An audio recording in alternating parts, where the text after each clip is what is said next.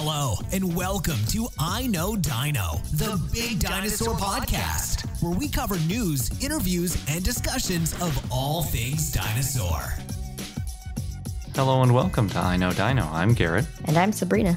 and today's podcast is brought to you by Audible.com. You can get a free audiobook download and a 30-day free trial at audibletrial.com slash I Know Dino. They have over 180,000 titles to choose from for your iPhone, Android, Kindle, or MP3 player. This week, our dinosaur of the day is Rapator. We have an interview with Dr. Ellinor Michel from Friends of Crystal Palace Dinosaurs, and we have a bunch of news. But first, we want to give a shout out to our patrons on Patreon. Thank you so much for all your support. And for those of you listening, if you enjoy this podcast and want to help us keep this going, then please check out our page at patreon.com slash I know dino. Before we get into our news, we have an email from David says, "Hi, I was listening to your podcast on Allosaurus and you mentioned that the dinosaur was called Antrodemus until the mid 1970s. I recently read the same in another source. If this is true, why did children's books about dinosaurs call the animal Allosaurus consistently? It's true for films as well." And he gives a couple of examples. Even if the continued use of Antrodemus was only in scholarly and scientific books and journals, it seems unlikely that popular culture would adapt Allosaurus as the standard when it was supposedly never called that until the 70s. I don't think this is reversed Brontosaurus slash Apatosaurus debate, is it? Just curious and thought I would pass on these examples to you. So I did a whole bunch of digging on this, and it is pretty complicated. So it is true that it was called Antrodemus first, and that it was basically known as Antrodemus until the 1970s, but it's a little more complicated than that. There was a publication called Bulletin 110 from the United States National Museum, aka the Smithsonian, that gives a good summary of the Antrodemus allosaurus naming issues. But going back even further, first there was a dinosaur genus named Poekilopleuron bucklandi, and it was discovered in France and named way back in 1838 and has its own whole complicated history with why it didn't end up being one of those first well known dinosaurs. But basically, Leidy described part of a vertebra that he received second or third hand as a species of Poekilopleuron giving it a species named valens in 1870, but he hedged his bets and also called it Antrodemus in case more bones were found later distinguishing it enough from Poekilopleuron to warrant its own genus. So we start out with both Poekilopleuron valens and Antrodemus valens. Then, seven years later, Marsh discovers a slightly more complete dinosaur. Rather than just one vertebra, he's got three vertebrae a rib fragment, a tooth, a toe bone, and part of a humerus, and he names it Allosaurus fragilis. Two years after that, a man named F. F. Hubbell, working for Cope, found a nearly complete Allosaurus, and it was crated up and shipped to Cope. But he appears to have never opened the crates, or yeah, Why wouldn't you? he may not have known exactly what was in them because he was just bringing in so many fossils all the time. Or if he did look at them, he just never got around to preparing them. And it could be he realized that it was an Allosaurus and Marsh had already named it, and so he wasn't interested in it, or who knows. But later, Cope sold the fossils along with most of the rest of his collection to the American Museum of Natural History in 1895 after they sat around for about 20 years. so paleontologists at the AMNH were amazed at the find, so they quickly prepared them and put them on display. And in 1908, they went up, along with a few recreated bones to fill in the missing gaps in the skeleton. And in fact, this is the Allosaurus that's still on display at the AMNH, and it's the one that's shown kind of hunched over a sauropod's tail, like it's been eating it. Yum. Yep. And since it was the early days of paleontology in the early 1900s and late 1800s, Poekilopleuron and, as it would soon only be known, Antrodemus were listed in many different groups over the next 40 something years by various authors.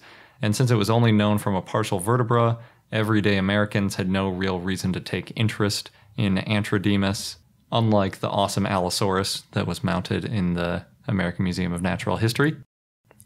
But then in 1920, Charles Whitney Gilmore was going through all the theropod dinosaurs in the National Museum's collection, trying to classify things better because it was kind of a mess. Like half of the things were megalosaurs and it, was just all mixed up.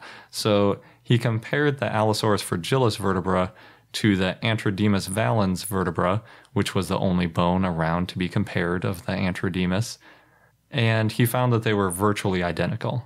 So Gilmore followed the naming convention rules and determined that we should call both Antrodemus valens and Allosaurus fragilis was just no longer a necessary name because this one was named first.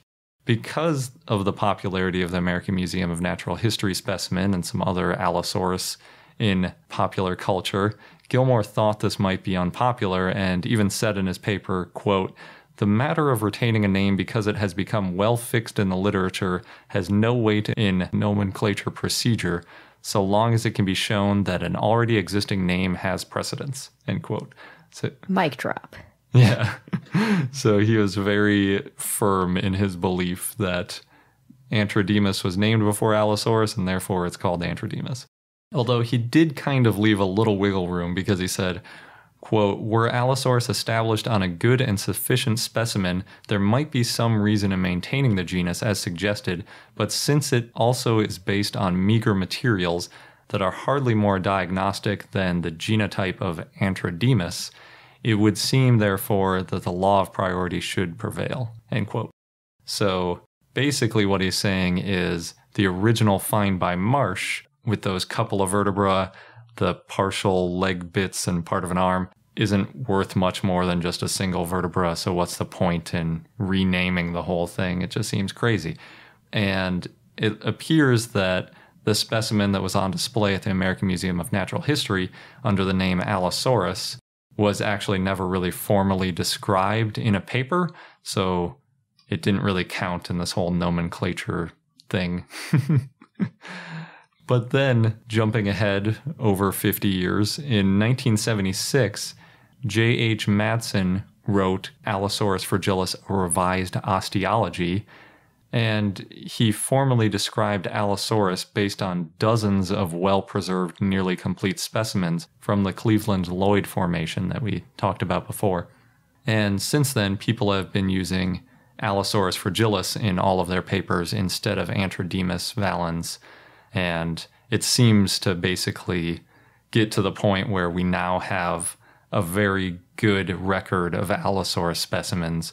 So whether or not Antrodemus is the same as Allosaurus, I guess since we have such better remains of Allosaurus, we're just kind of ignoring Antrodemus. So it's kind of weird since Antrodemus was definitely named first and they appear to be the same thing. Not the first time that's happened, I don't think. Yeah. Usually what you see is they'll just take the better specimen and they'll make that the new type species, but it would still be a type species of Antrodemus.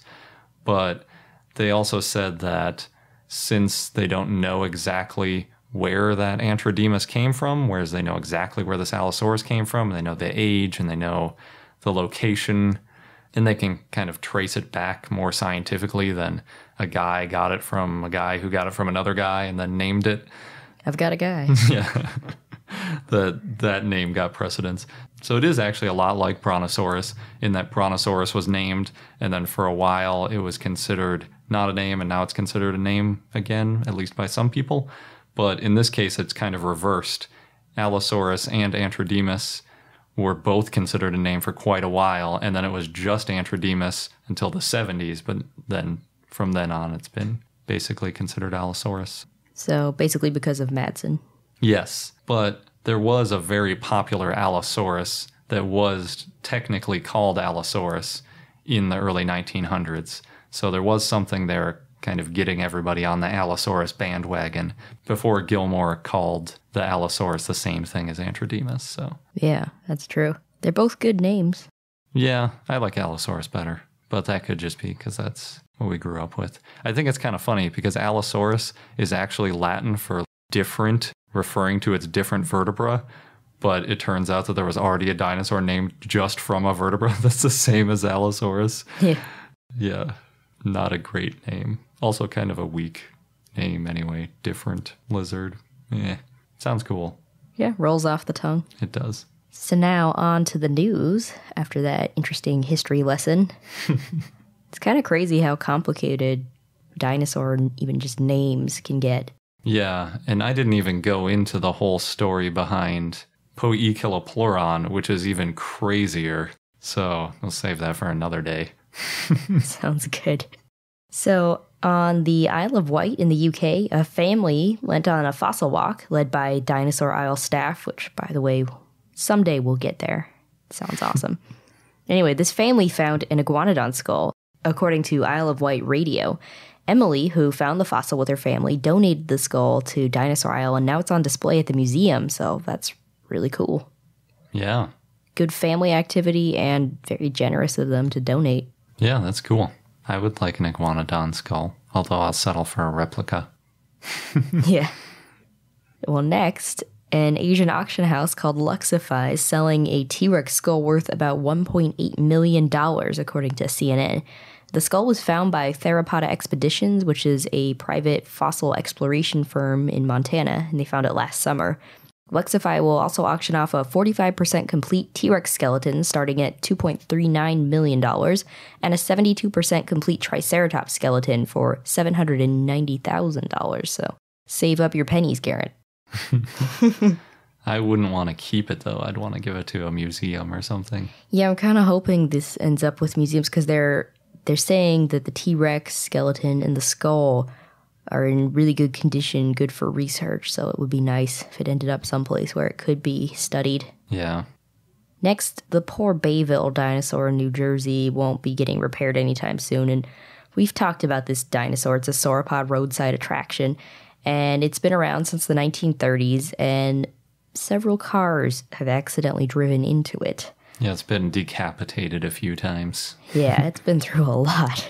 According to app.com, the dinosaur was sold to a local partnership, but the new owners haven't yet given permission to restore it. Currently, its head is in storage and its body is wrapped in plastic to help preserve it. And the group trying to restore it is called Save the Dinosaur, and they still need to raise $5,000 to fix it. So far, they've raised about $10,000, so I guess it kind of works out they don't have permission to fix it yet. The artist who will do the restoring is Shannon McDonald, a local who was dubbed, quote, the world's greatest Beatles artist by the Lord Mayor of Liverpool in 1998. And people can help fund this restoration by purchasing Save the Dinosaur t shirts. Cool. I like a good t shirt. Yeah. And I like a good roadside dinosaur attraction. Next, thanks to Keegan, who shared this item with us via Facebook.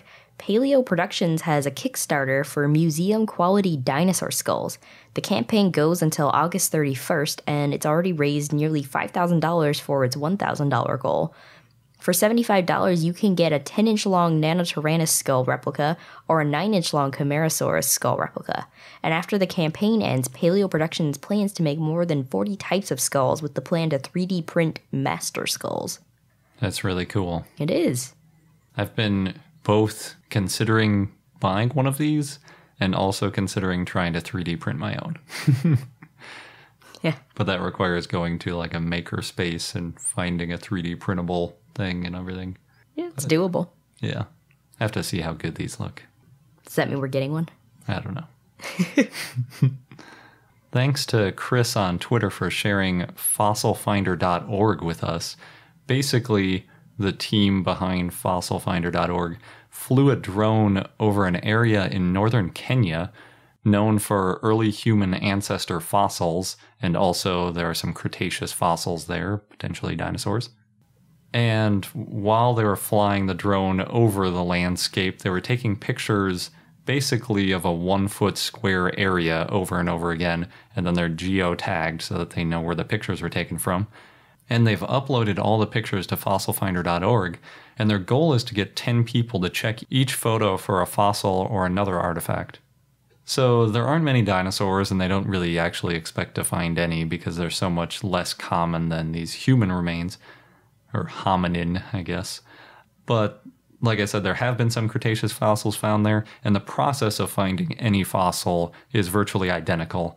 And we talked about that a little bit. You basically look at them in bright light, and hopefully you see a difference in color or texture or something that's just bone shaped, and then you might have a fossil.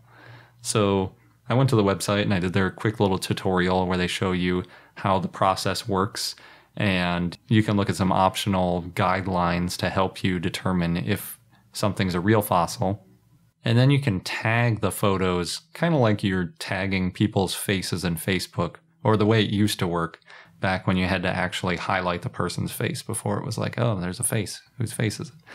And you can tag it as either a fossil bone, a fossil shell, a root cast, a stone tool, or might be something if you're not so confident. It's a little bit tricky because a piece of bark or tree can look a lot like a fossil. So they showed an example where they're like, this is a piece of tree in a picture and this is a piece of fossil, but they look exactly the same. But then when they go out there physically, you've already identified the exact spot so they can find it more easily.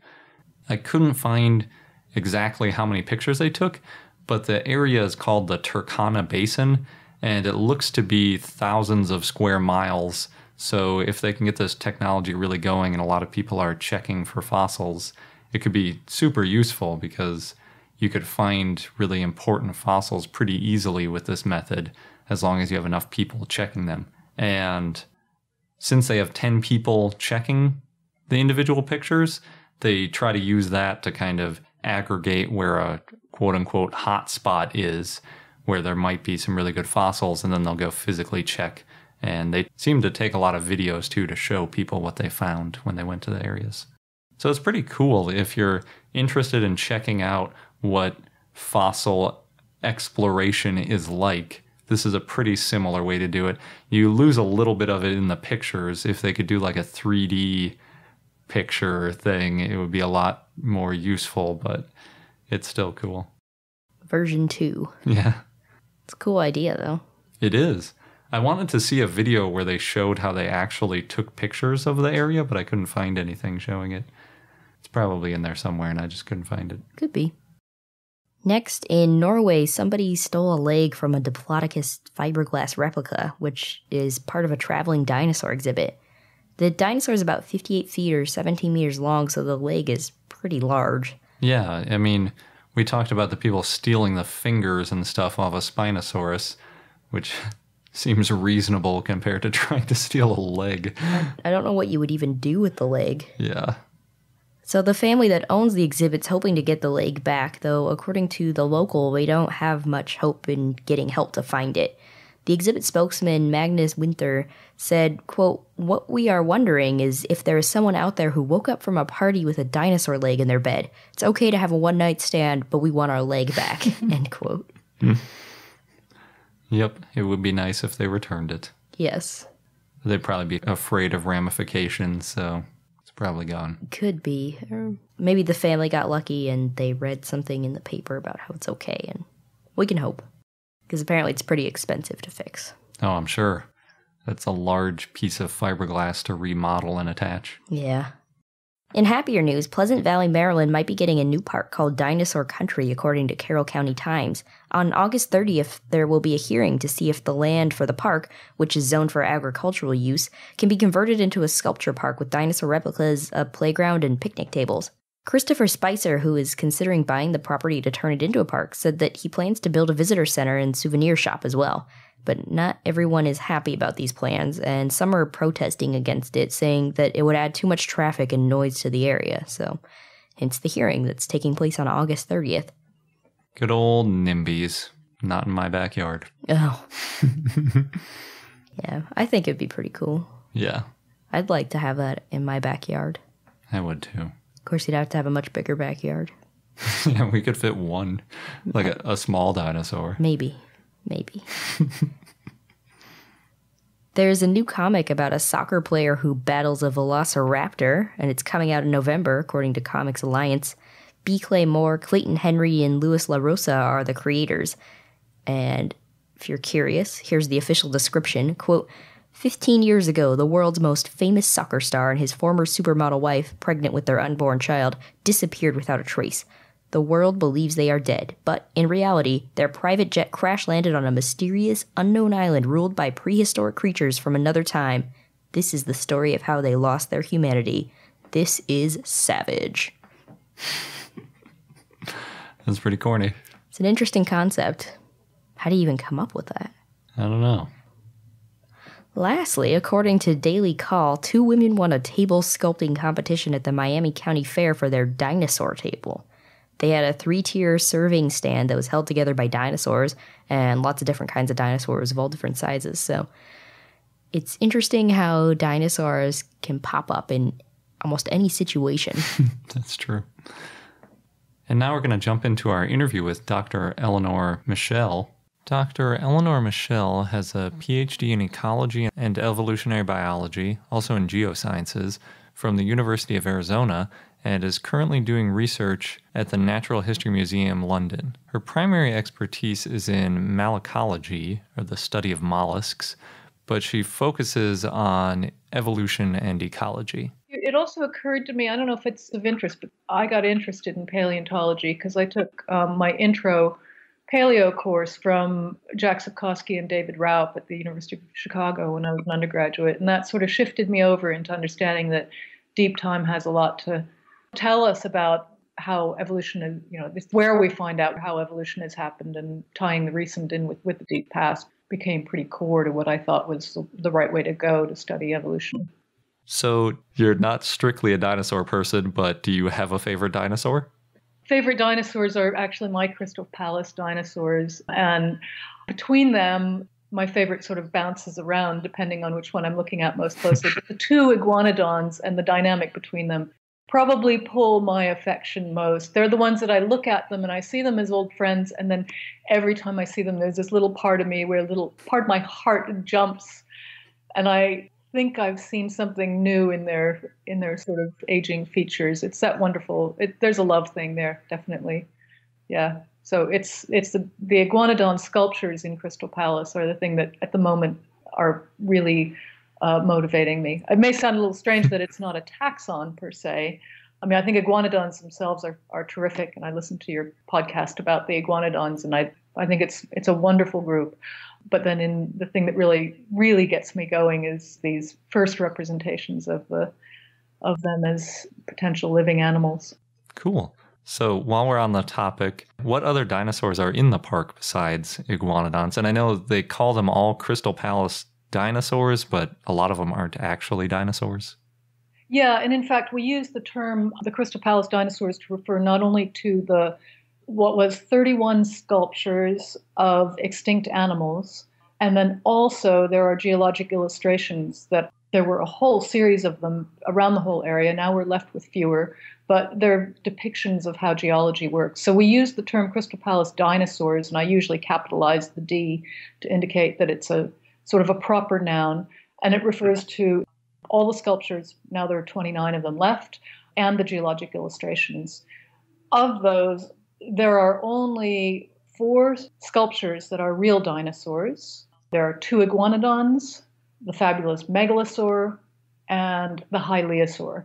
And those are the original four Owen described. And then the rest of them are marine reptiles, the early amphibian like animals and extinct mammals. That's all. Cool. So the Crystal Palace is kind of an interesting thing because originally the Crystal Palace was an actual sort of palace. It was a big steel and glass building built for the 1851 Great Exhibition in London. But then they made these dinosaurs a few years later. Do you know why they made these dinosaurs? Or was it just like an accent for the building? Yeah, well, so 1851, the world's first great exhibition was put up in Hyde Park in central London, down in the middle of town. And it was a bit of an experiment, and they got permission to put it in the center of the park, but they were only allowed to keep it there for six months. That was that was the deal. But it was such a smashing success that they decided to try to find a way to keep it going. And there was a lot of business wheelie dealy stuff going on um, with the expansion into the suburbs. And the little uh, suburb area of Sydenham and Penge and Norwood was just at the point of being developed.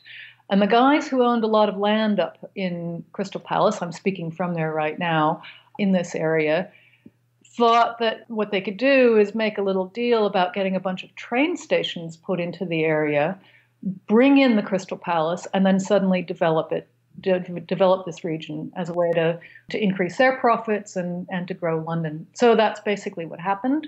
They moved the Crystal Palace from Hyde Park in its component pieces. And I think one of the things that was amazing about that building is that it was essentially the first large prefab building. So they took it down into its component parts, brought it down to South London, um, which is about seven kilometers away, something like that, put it onto a train, rebuilt it in a very short period of time on the top of what's essentially the second highest point in this part of London.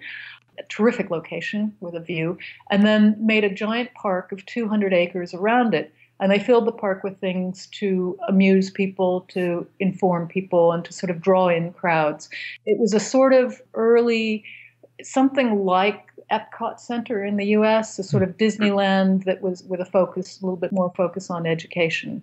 And inside the Crystal Palace, they put all kinds of wondrous things that they'd had originally, a lot of replica archaeological stuff, a lot of things about industry, and also some real material. And so you could pay to go into the Crystal Palace and see all these wonders. But they also wanted to have draws around the park. So if you go down the hill from where the giant palace was. Down, it takes about 10, 10 minutes to walk into one of the lower areas, and this is in Penge, which is part of the Crystal Palace catchment area. There's a, a sort of a hollow, and in that area, they remodeled the landscape to form the geologic tableau of the Crystal Palace dinosaurs. Awesome.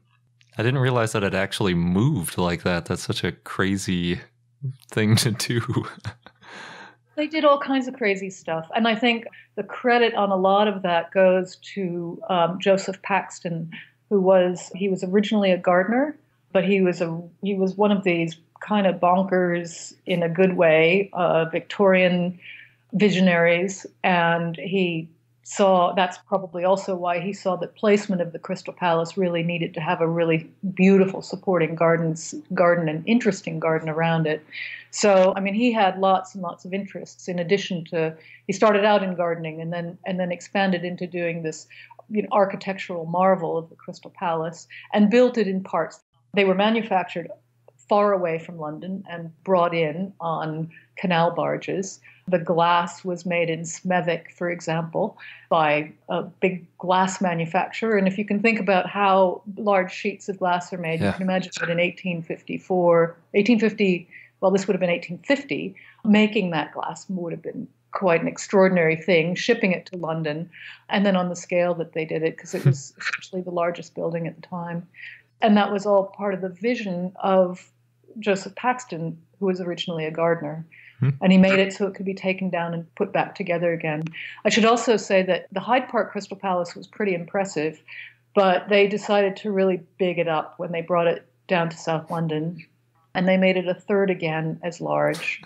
And um, they added a bunch of barrel vault arches. And so those are the kind of curvy arches with a fan top and that that was an innovation at the time to put that as a part of the roof line. And now you see it all over the place. I have a little hobby when I travel around the world of hmm. looking for barrel vaulted arches, and you'll see them everywhere. I saw them in South Carolina. In Brussels, the European Parliament building looks just like the Crystal Palace if you stand in the right sort of angle, just all over the place. So that architectural innovation was was mirrored all over the place.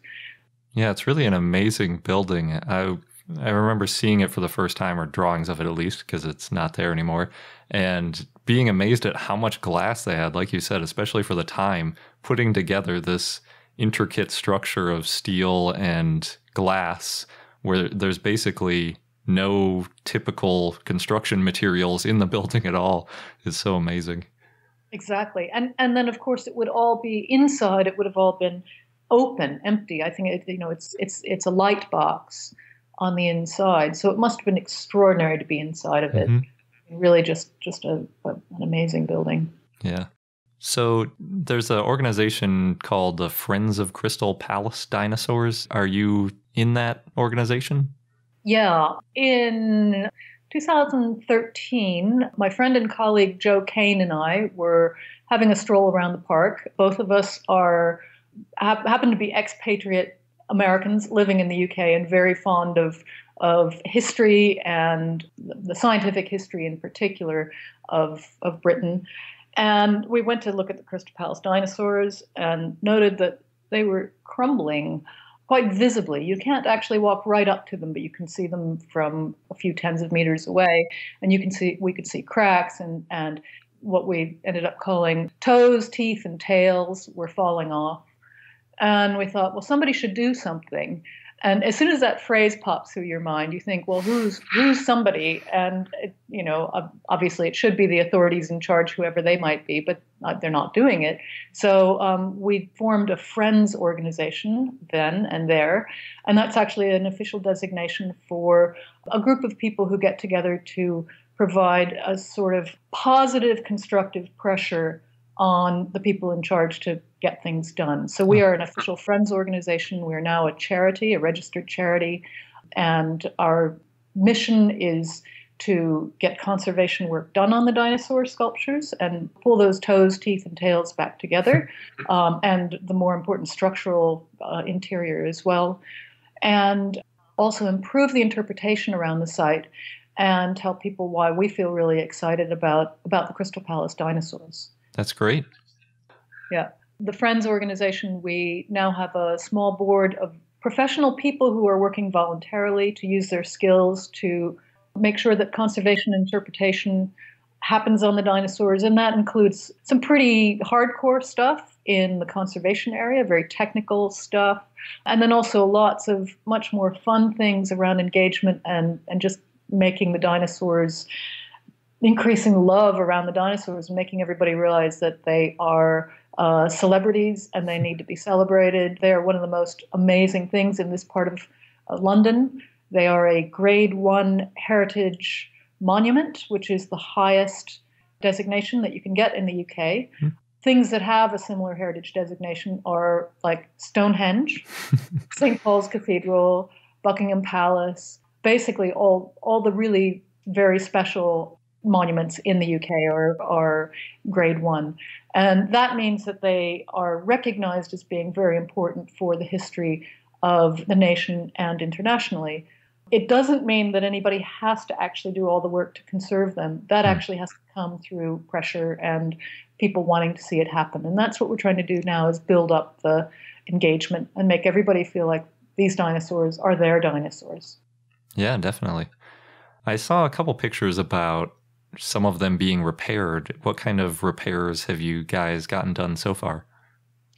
Yeah, well, we've we've succeeded at getting work done on one of them, and that's the famous standing iguanodon, and it now looks absolutely beautiful. There are 28 more sculptures to go as far as conservation work goes, with varying degrees of decay on the sculptures. Some of them are in pretty bad shape, and some of them just need a little bit of, of maintenance and touching up. But the work on the standing iguanodon was the most urgent. Um, there were really large cracks in the body, potentially due to some shifting of the ground underneath it. Hmm. Uh, and they brought in a, a, conservation company that specialized in, in historic structures and sculptures. And they worked on it for about six weeks, did a complete overall renovation of the structure, putting in pins, which are long long pieces of steel that bind it from side to side and also across the cracks. They covered over the cracks, resculpted the surface, repainted it, and basically replaced the teeth to make sure that they were all in good shape and really made it look very nice. That work, though, doesn't come cheap because yeah. you need specialists to do it. So it costs quite a lot to get that done. And we're looking at a pretty steep pending bill on the next round of works to get all of them done we have had what's called a condition survey, which is an official survey of, of each of the sculptures, but it's a little hard to actually nail down the costs exactly. It has ranged between about 600,000 pounds and maybe 800,000 pounds, but when you put on implementation costs, the overall works on the sculptures alone probably would be about a million pounds. And then we figure that to have a interpretation program that does justice to it would probably be about double that. So we're sort of looking at sort of two million pound overall project ideal. That's not going to happen very quickly, but we are making progress on getting these things worked on. The work on the standing iguanodon finished in January. Now we've had a little bit of a pause, and there's going to be a new round of works, and that will be for about a half a dozen more of the sculptures, and it'll start perhaps in the next couple of weeks. We're not exactly sure of the start date, but it'll it should happen sometime in early to mid August. Great. And then after that, we don't know exactly where the funding is coming from. We'll be working to get the council, which is the governing body that owns the land and the dinosaurs. We'll work to get them to try to put more funds in for it. They have done so already, including some funds. So it's come from Bromley Council and from the mayor's office in London. And we're hoping to get even more coming from them, but people might realize that things are a little bit in turmoil in Britain, so we don't really know exactly uh, how things are going to pan out.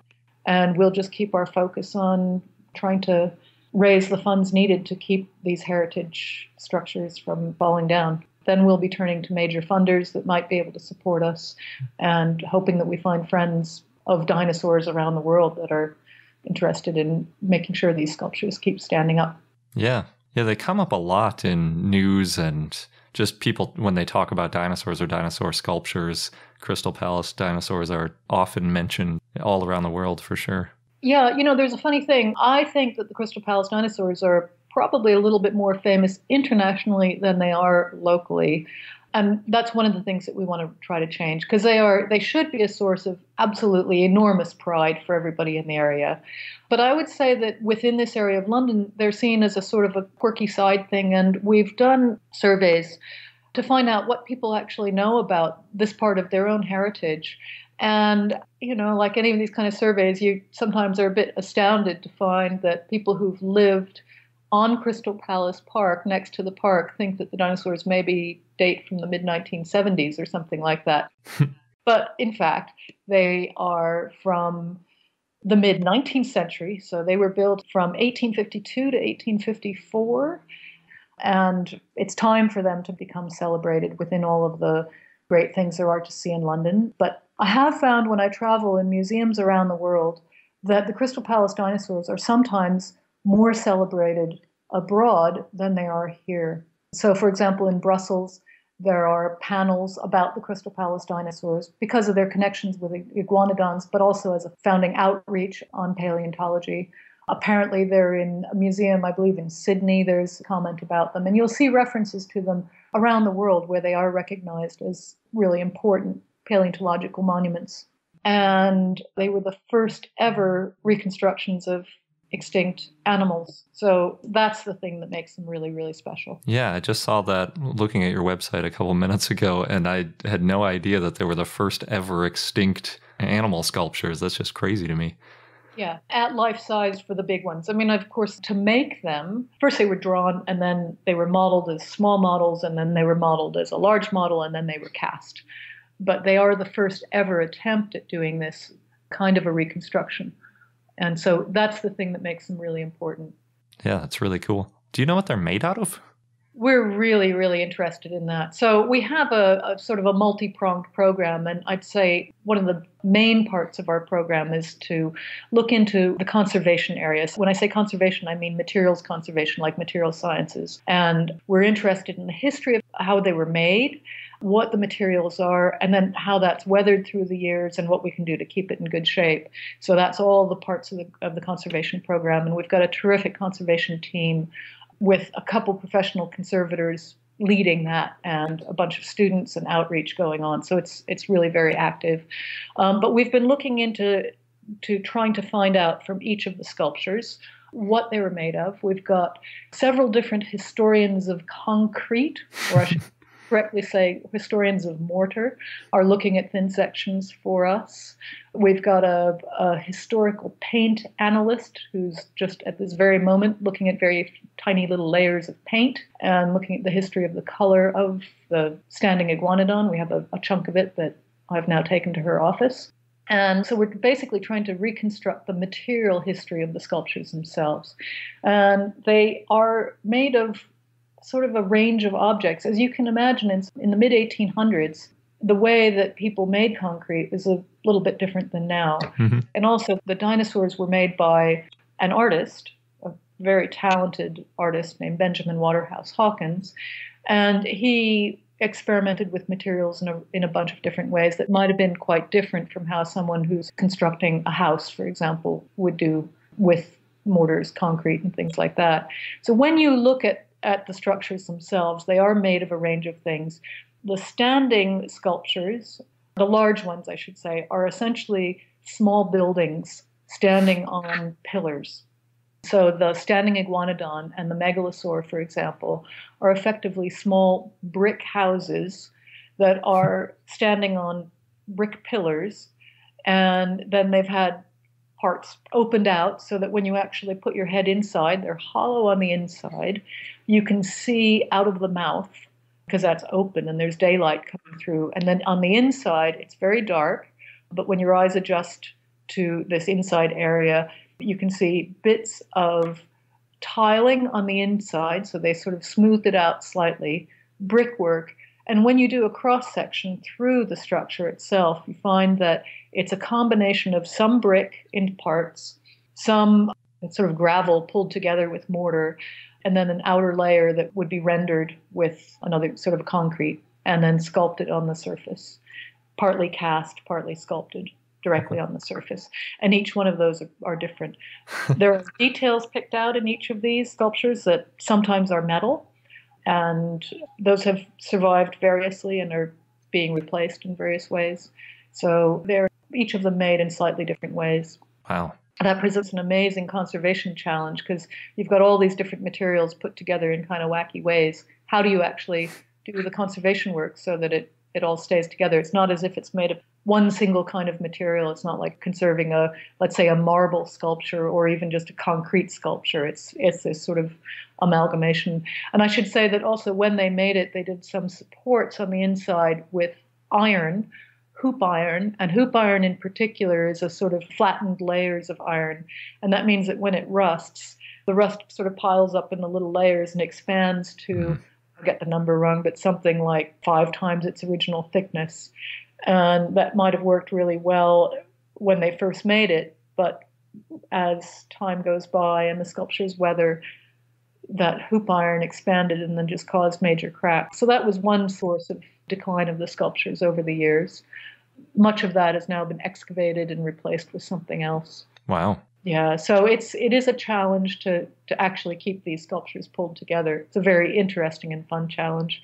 We have open days planned for the conservation stuff, and we did one last year when the iguanodon was being the standing iguanodon Iggy was being worked on, and it was really really fun. We had six different groups of people come onto the island and get to peer inside the, belly and look at the teeth and climb around on the scaffolding and, and actually get up close and personal with the sculpture it was a heck of a day because there was also a huge storm that came through. So we were doing this in incredibly high winds.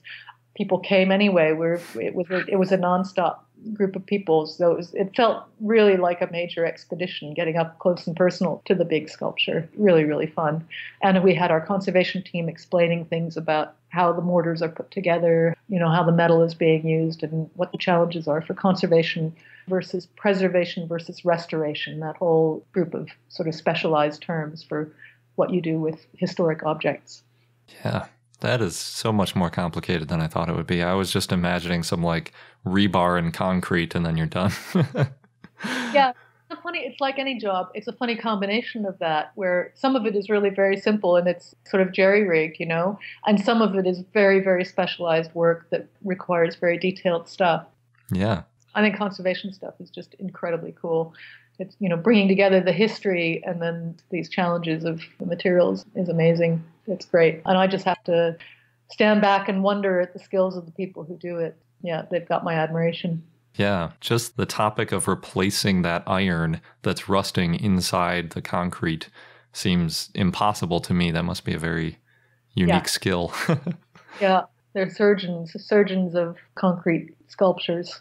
That's great. So, is there in Iggy, is there usually a hole that you can stick your head up in, or was that cut so that they could do the restoration work? I'm pretty sure that it's original because there's one in each of the big standing sculptures. Those are now gated, so if you were to be a naughty person and jump onto the island, you couldn't actually get in at the moment. We've got them locked up, but it used to be years and years ago, decades ago, that those holes were open. And so when you speak to local people in the area, they will often get a sort of a a wistful glazing over the eyes and they'll they'll say, you know, when I was a teenager, we'd get on to the island and we'd you know we'd get inside the dinosaurs. Um, and so that did happen and and it shows up actually in people's writing about the about the dinosaurs as well. But now they are they are definitely locked up and closed up so you can't go in. Gotcha.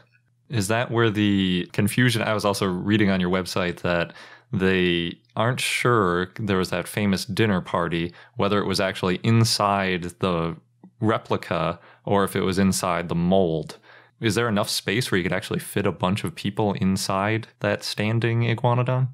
You can fit a few. You can probably fit a couple people. The inside is a is a little bit like a deep sea submersible. It's about the size of a small car, and you can kind of squeeze in maybe two people, three people, something like that.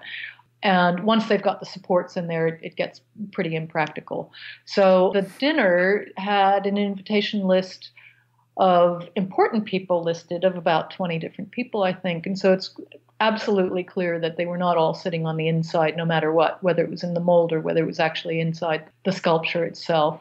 What they could have done is put a trestle table with the couple most important people at the head, and that would be Richard Owen, maybe Benjamin Waterhouse Hawkins as the artist, but he was also the one who was sort of coordinating this publicity stunt, and a few of the other important paleontologists and businessmen who made this all possible. So it's possible that there was a sort of a T structure of a trestle table that seated a couple people inside the dinosaur, and then the rest of it sort of sticking out the back and going out the side somehow so that it vaguely looked as if they were all inside of it. it, it was very well stage managed. It was a stroke of genius, I think for them to to do that PR event. Yeah, even now it just sounds like such a remarkable idea to go inside either a mold or the actual sculpture and have a dinner party with all these elaborate dishes and things before the opening. Yeah. Yeah. I mean, it is one of the things that has captured people's imaginations in the 160 years since then, and people mention it to us all the time. We are now working with a really terrific street theater and education company called Emerald Ant, who have made a life size reconstruction of Iggy. And it is a convertible stage that has a lift off lid. And inside, they have a, a small theater area and a table, and they actually do a little theater piece that reconstructs the history of geology from about 1812 to 1860 ish in Britain. Um, they do a play that sort of shows all that, and it's pitch perfect. It really does the job well because it's it's historically very accurate, but it is just screamingly funny, sort of street theater stuff where you know lots of sort of crazy things happening. And uh, they had their launch in Lyme Regis in the Fossil Festival with um, audience of you know a couple hundred people at a time, lots of performances, and so we've got the dinner in the Iguanodon is actually being launched right now.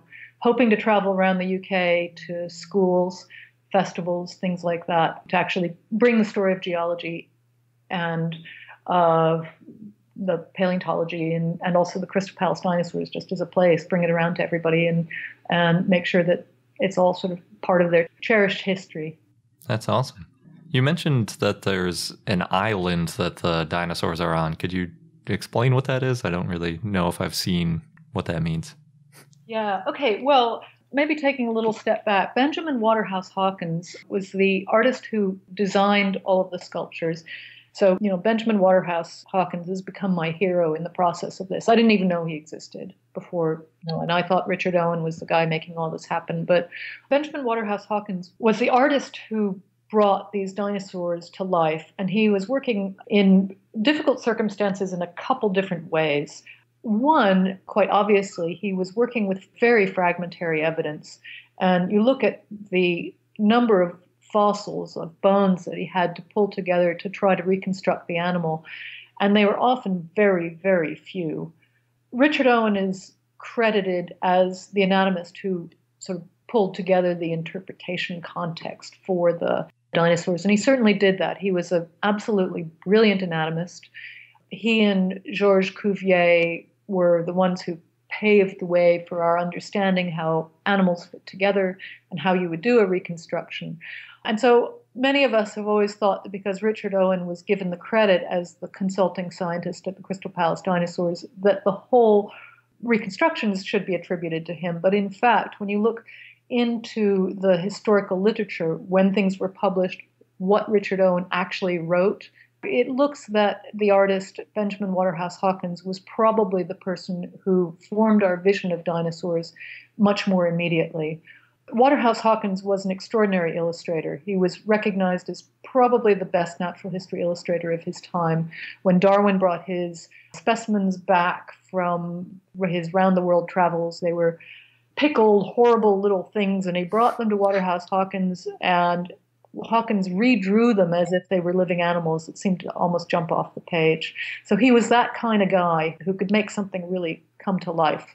Then he's working with the fossilists, the paleontologists of the time, and they present him with a few bones, scattered bones, maybe hip bones or a few teeth from the new finds of dinosaurs. And he put these together in the way that made most sense to him as a keen observer of animal form.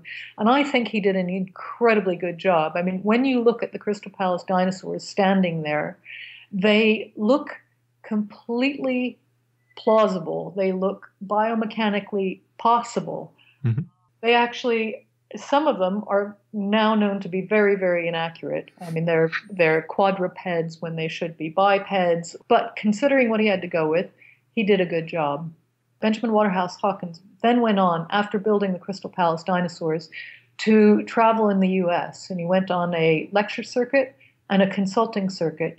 And he was hired in New York City to build a similar tableau in Central Park. And that process got pretty well underway. It was designed, and the sculptures were in the process of being built in the middle of a shed in Central Park. And then there was a conflict with a, sort of a gangster boss Tweed.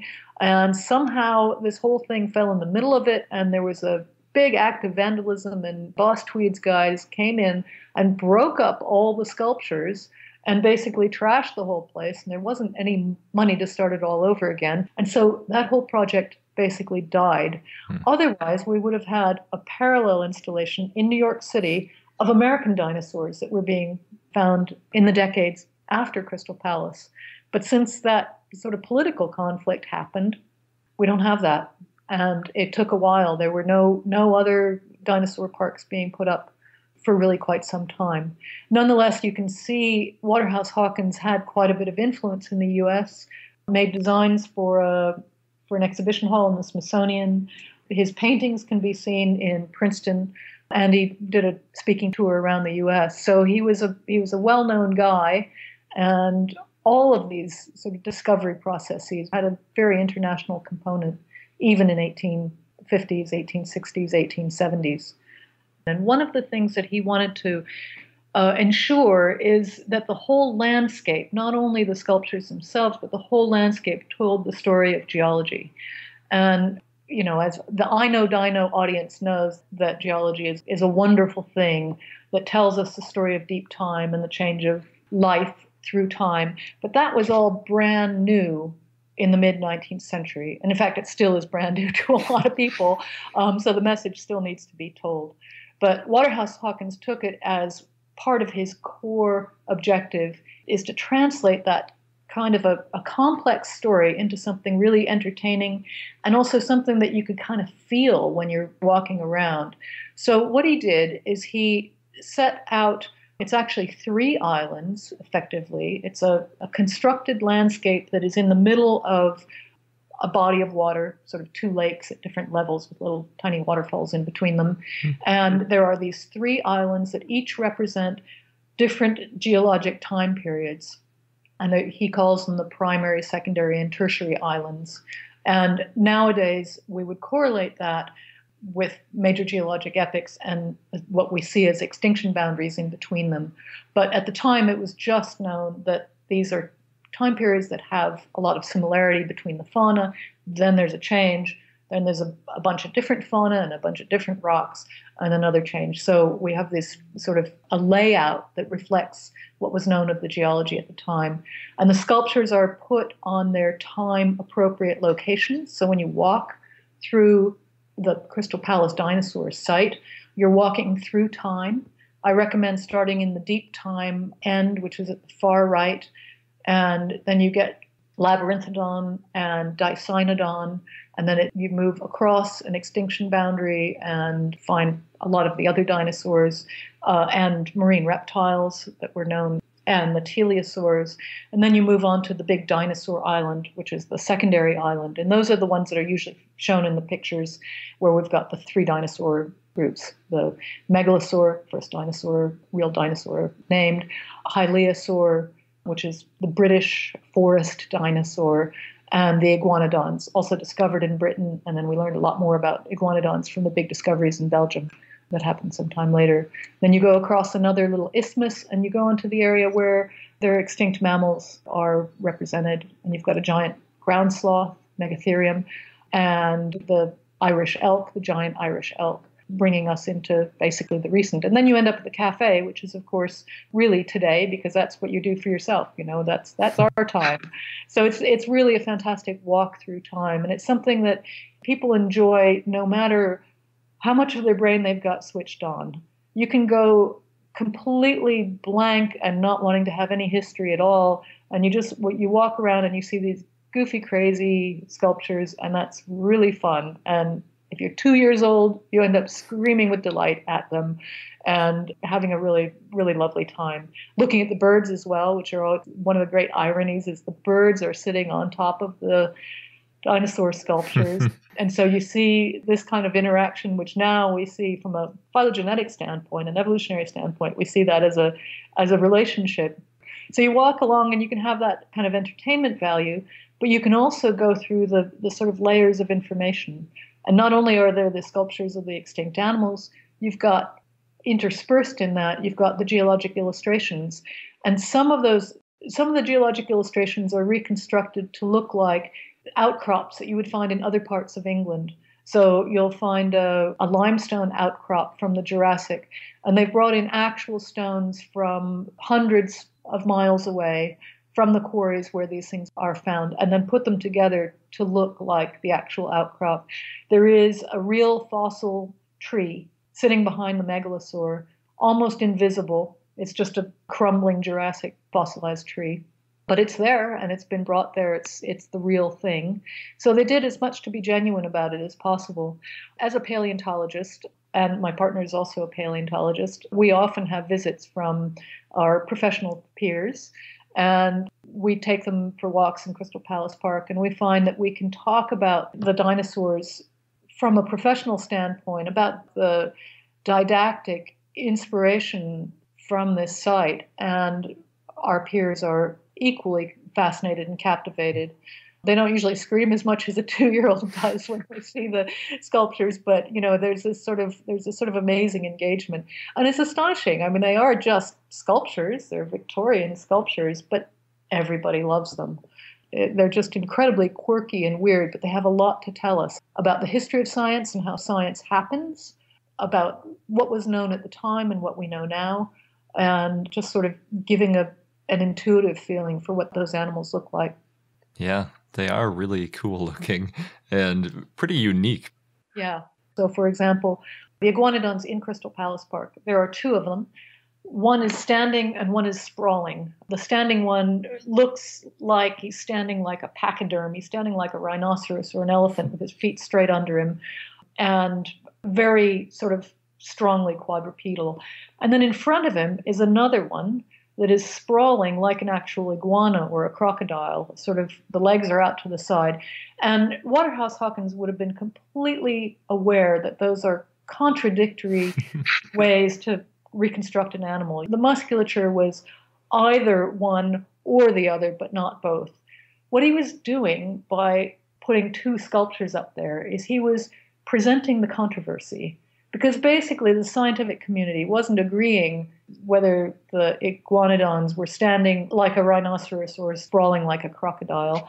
And so Waterhouse Hawkins just thought, well, I'll do both of them and show people that there's a debate going on, show people that this is what's being thought about, and give that actual aspect of the science life in the sculptures themselves. So I would say when I'm looking at the views of the dinosaurs, the ones I always, the one I really appreciate the most is where you've got the sprawling iguanodon in front of the standing iguanodon, and you've got those two things interacting, because that's that to me is is such a powerful teaching tool.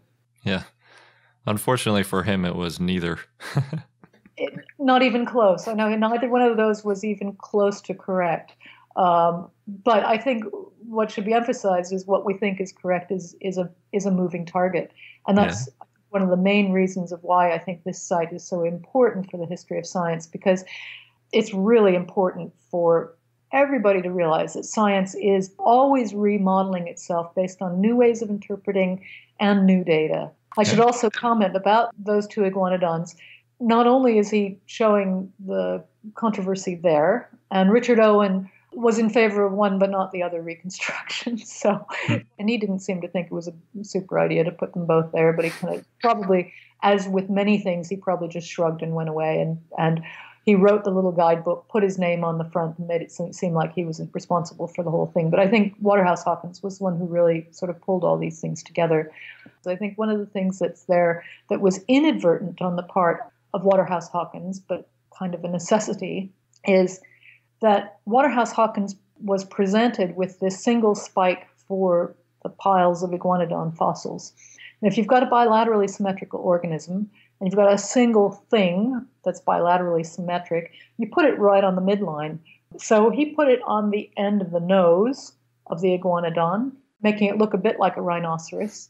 And so there's sort of horn sitting on the end of the nose. Apparently, Richard Owen thought that wasn't really very good idea. Again, he shrugged, walked away. But Waterhouse Hawkins put it on both of his reconstructions. So they've both got this little, very cute little horn on the front. When more iguanodon fossils were discovered in Belgium, a huge cache of them, and it was quickly realized that that spike actually came in two per individual animal. And probably the best place to put them was on the thumb. So we now know that that is a thumb spike and not a horn on the end of the nose. But here in Crystal Palace, we have a really big laugh about that because I started calling it the symbol of science because it shows how the mistakes can be made and then reinterpreted and then put together again. But because because I have a little bit of a lisp, I said the thimble of science. And we all burst into hysterics. I'm doing a program about this because there's the thimble of science sitting on the nose of the dinosaurs. we now see this as this sort of golden thimble. And we've got that as a little bit of our logo. So we've got the thimble of science sitting on the nose of the iguanodon and it makes us laugh every time we see it. So I all these wonderful, wonderful little little stories. But there, so the iguanodons are the focus for that kind of story. But we've got you know a similar story for many of of the sculptures. And I think there's a really interesting aspect is that as you go into deeper time, the oldest extinct animals are the Dicynodon and Labyrinthodon. And those are the most inaccurate reconstructions. I mean, they look very little like what we think uh, Labyrinthodon should look today. As you go more and more in towards the recent, there were more fossils, better reconstructions, and you get to the point where you look at the last in the series, the Ice Age mammals, and the reconstructions are really very good. And in 1854, the reconstruction is not all that different from what we have today, to the point that the Irish elk is pretty much exactly spot on. We had loads of Irish elk fossils in this area, so they were very well known. We've got good analogies among all the cervids today, so all the deer. And so there's not much of a change in the interpretation, and you had loads of data to go with on the stuff that's most recent. So you can see this whole process of how science actually works in deep time just by looking at that decreasing accuracy as you go into deep time. Yeah, that's fascinating. Yeah, and the thing about walking through the site is you kind of feel these things in a way that you don't when you're reading it in a book. Yeah. So, yeah. Another point, one of the reasons this site often inspires people is that the sculptures themselves are not only odd but also very beautiful in a just a wonderful way. And so they act as an inspiration to people for literature and also for graphic arts. And we have connected with a number of artists in the area who have painted or photographed or drawn the dinosaurs in many different ways. And we're trying to pull together an overview of the dinosaurs as muses. It's really interesting to see how these sculptures inspire people in very, very different ways. They are such incredible structures that really you, you can see people who have been inspired by them, I think, have found that their view of the world is changed in a good way. They're also, they have a celebrity past. They are featured in photographs with a number of sort of rock groups from the past. There's a part of a record sleeve from the group Cream taken on the dinosaurs. The punk group, the Slits, have a photo session from there. We've got pictures of a number of different celebrities. So, yeah, the dinosaurs are celebrities and they're also inspirations and they are muses. Great. The Crystal Palace dinosaurs are firsts in a bunch of ways. First reconstructions of extinct animals. But the other thing that's actually really under recognized is this is the first ever large scale outreach, public outreach on science. If you're going to be very strictly speaking about it, there was public outreach on science by Faraday, who showed the electric process elsewhere in London. It was, I think, a decade or two before the Crystal Palace dinosaurs. But in general, there's this moment of really quite a change in perspective that the general public would have an interest in complex ideas and in the beautiful ideas of science and would have an ability to actually absorb some of that. And that moment was in the mid 1850s. And the first time that that was really implemented was through the Crystal Palace dinosaurs as a major outreach on science. And that's true whether we're talking about natural history, where it certainly was the first natural history outreach, or as science in general. The idea of amazing the public and engaging them through visual means as well as sort of presenting the ideas, that was all radical and new. I tend to get a little hyperbolic here, and I'm going to make a claim that um, maybe some people will want to challenge me on, and that's great. But to my feeling, the idea of pulling in the general public when before that time complex ideas were sort of held back as something that was only the, the domain of specialists. To me, that means that that was essentially the time of the birth of real democracy. Because you can talk about the ideals of democracy, which were happening in the late 18th century, but in order for democracy to work, people need to be able to absorb complex thoughts and have access to them. And that has to be a process of education and engagement. And when that actually started happening, that was when democracy was actually turning on its engines and really getting going. So to me, that is one of the most critical parts about the Crystal Palace site. So I, I see this as not only the birthplace of talking about geology, about paleontology, about extinction, deep time, natural history, and then when I sort of fly off the map, I'll say we can even pull in the whole democratic process into this sort of outreach package. And then you saw that happening all over in a bunch of other different ways of bringing the public into the rarefied area of thinking about things that was previously the domain only for scientists, for specialists. And I think it's for that reason that these grade one historic monuments should be preserved and celebrated for the celebrities that they really are. There's a pretty wide gap, it seems like, in terms of sculptures of dinosaurs. You've got the Crystal Palace ones from the 1850s, and I can't really think of any other dinosaur sculptures from the 1800s. So you kind of jump quite a few years before you see other ones that are portrayed in completely different stances and even their faces and features look totally different. Yeah, um, and it does seem that the idea of a dinosaur theme park, it's something that pops up over and over again, but it didn't really happen until uh, it happened in the Crystal Palace and then had some other abortive attempts, which are really very interesting, and then didn't really happen again on a big scale until the end of the 19th century. And then there were a couple more that showed up. But I would say that the one in Crystal Palace was the one that was sort of at its core uh, much more integrated and pure. Yeah. Switching gears from Crystal Palace dinosaurs, we talk a lot about new dinosaur names on the podcast. And there are a lot of rules that go along with taxonomic biological group naming systems.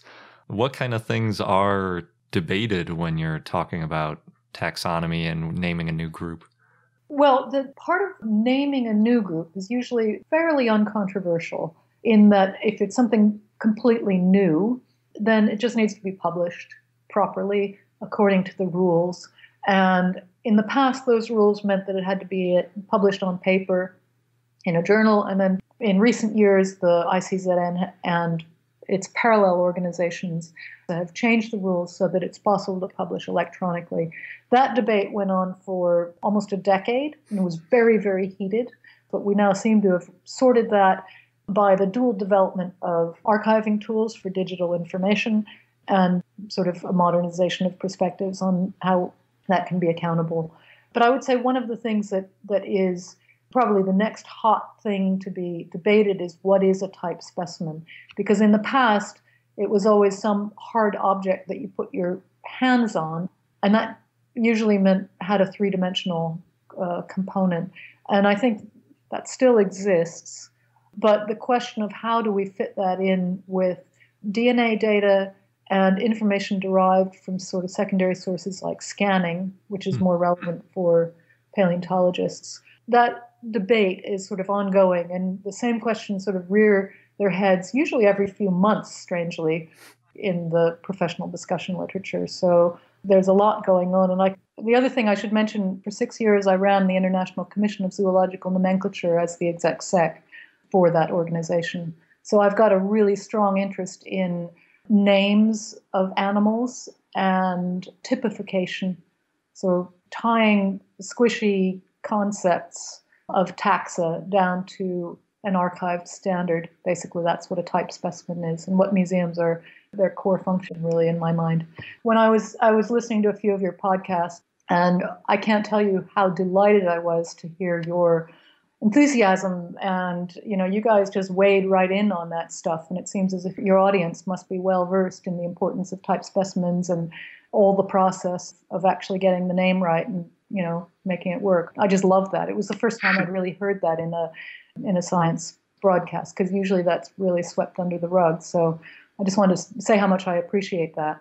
Thanks. We do try although we do get a fair amount of things wrong too. But we try to be accurate can I tell you, working on the inside of that for a long time, wrong can be a matter of interpretation. And even among the commission, the ICZN, the commissioners themselves, are all the absolute experts in names, nomenclature, nomenclature, whichever you want to call it. But they have differences of opinion on stuff, different ways of interpreting the rules of the code. And so the debates that we had to field on the inside were often quite fierce. And, um, you know, it, it, it was actually for a fairly legalistic and bibliographic kind of job, it was absolutely fascinating. And I really rather enjoyed it. It also has an important core mission. So I think it's an important thing to recognize. Great. So I think that's about all the questions I have. Is there anything else that you want to share? Yeah, I guess just working on this project with the Crystal Palace dinosaurs has made me appreciate all the different ways that you communicate with people. And I wanted to thank the guys who put me in touch with you. Chris Colson runs a company called Rent a Dino, and he's got a tyrannosaur that runs around and roars at people. And in some ways, it's the counter to what we're about at the Crystal Palace Dinosaurs, because we're about the history, and and I'm strangely a little bit anti North American dinosaurs. Oh, no. I am a North American originally. um, but the reason for that is just because the, the British dinosaurs and the sort of foundation of paleontology in Britain gets a little bit overlooked. And anytime anyone says the word dinosaur, the predictable word on on the public's lips is tyrannosaur or triceratops or something like that, you know. And it's like, well, wait a minute, what about our iguanodons? What about megalosaur? Hylaeosaurs are beautiful. What an animal to have discovered right here in Britain. And so, uh, in some ways, having a walking, roaring tyrannosaur is slightly counter to what we're about in the Crystal Palace. But on the other hand, as soon as that happens, there's this emotional response when he when Chris brings his thing in, and this emotional response among people, and that's actually part of the learning moment. And that's what I'm having such a good time with in this Crystal Palace Dinosaur project is doing it in all these different ways. So you've got you know a quote live tyrannosaur. We've got this uh, street theater engagement project, which is absolutely splendid and just fantastic. We're working with an artist who's doing wonderful very cheerful and spare, but historically and anatomically very accurate sort of cartoon figures of the dinosaurs. I mean, basically the whole thing. We've done a play called The Dinosaur Doctors. The dinosaur doctors are the ones that come in and do the conservation work on the crumbling sculptures. Um, we've done a couple films. We're working with a great filmmaker and history tour specialist named Anthony Lewis. He's done a short film called The Lost Valley of London. Four and a half minutes of absolutely pitch perfect introduction to the Crystal Palace dinosaurs. It's also sort of hilarious camp style, so it's wonderful to watch. And then building on from that, Anthony and our former conservation specialist, Lisa Brierley, put together the, the play of the dinosaur doctors, and then they did another short film called The Seven Deadly Agents of Destruction. And it's all about conservation risks to outdoor sculptures with the Crystal Palace dinosaurs as a focus. And again, it's done in this sort of camp, hilarious, animated style. And bringing a, what was an academic list of conservation threats into a format that you can use to teach kids of 10 years old, and they'll actually find it really quite fun and start looking at historical stuff and saying, hey, look, you know, it's crumbling. Let's do something about it. And getting the idea that there is this sort of shared responsibility for our heritage, and that if you're going to keep your heritage, you've got to actually do the work to make sure that it stays together. Yeah, I guess that's probably it, Garrett. I think that's the shout out to some of the people we've been working with. Cool.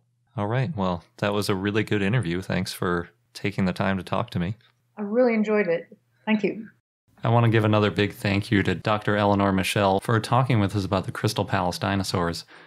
Garrett was very dedicated. He was talking to her at 1 a.m. our time. Yep. until almost 3 a.m. You got to do what you got to do for dinosaurs. Yeah. I'm going to have to make my way to London one of these years. Not just you. That's true. But you've been to London. That's true, but I didn't see all the dinosaur things there. Did you see any of the dinosaur things? I've seen the Natural History Museum. Oh, that's a good one. I saw Dippy. Must be nice. Mm-hmm. Dippy's going to be gone by the time I get there. That's true. Maybe we'll catch him in a traveling exhibit. Maybe they'll have like a little tiny plaque somewhere like Dippy used to be here. Probably. I, I doubt it. It'll just be a blue whale. That's how you'll know. That's true. Before we get into the dinosaur of the day, we have another word from our sponsor, Audible, who is offering a free audiobook download with a 30 day free trial.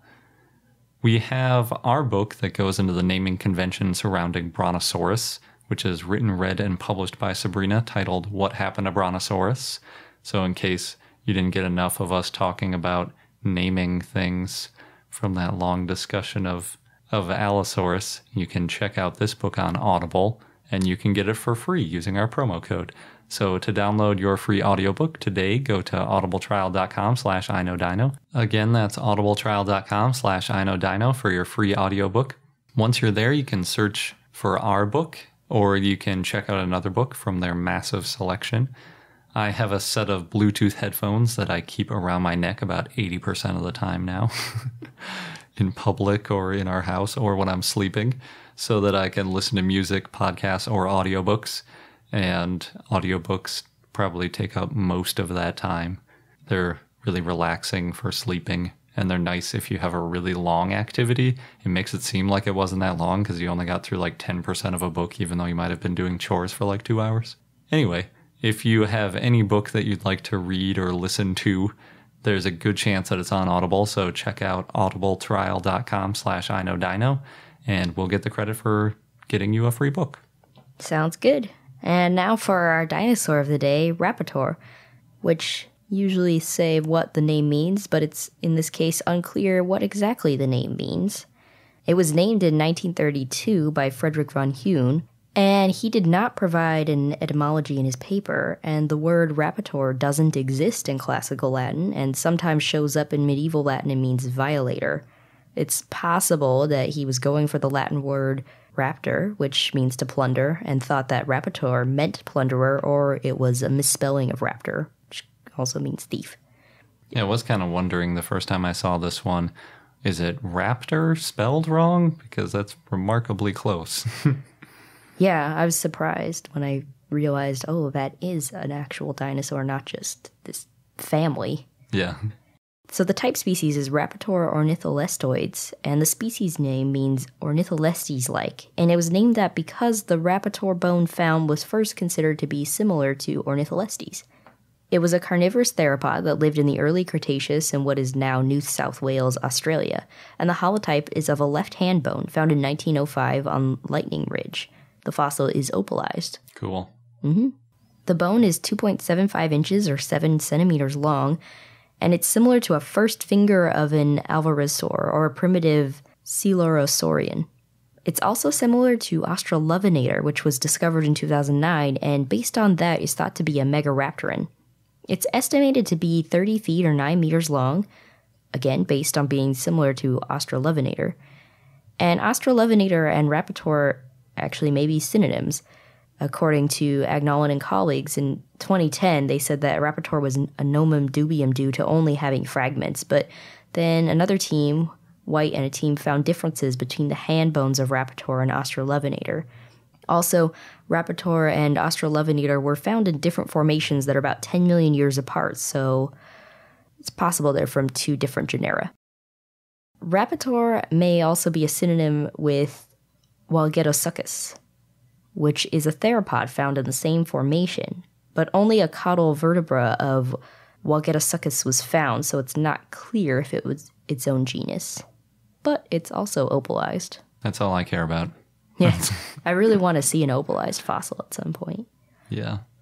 So, Rapator is considered to be Megaraptoran, and Megaraptora is a group of large carnivorous theropods. It's controversial where they stand phylogenetically. Some scientists think that they're a branch of Allosaurids, others think they were Coelurosaurs related to Tyrannosaurids, and others think they're Avetheropods. An unnamed dinosaur found in Lightning Ridge in September 2015, known as Lightning Claw, which may be synonymous with Rapator, shows that Megaraptorids probably evolved in Australia, then spread to Gondwana in evolutionary radiation.